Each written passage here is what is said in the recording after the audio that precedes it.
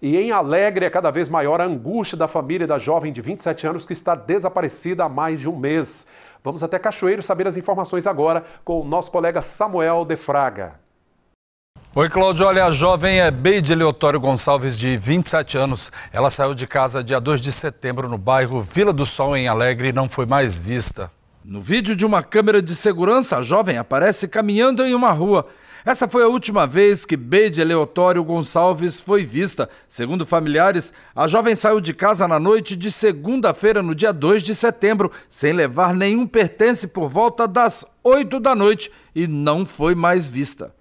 O desaparecimento da jovem ainda é um mistério para amigos, polícia e familiares que contaram que Beide é uma mulher trans. Ela sempre saía de casa, mas retornava. Dessa vez, ela deixou para trás até mesmo o aparelho celular. E segundo o delegado Fábio Teixeira, da 6 Delegacia Regional de Alegre, várias diligências já foram realizadas, mas até o momento, nenhuma pista da desaparecida.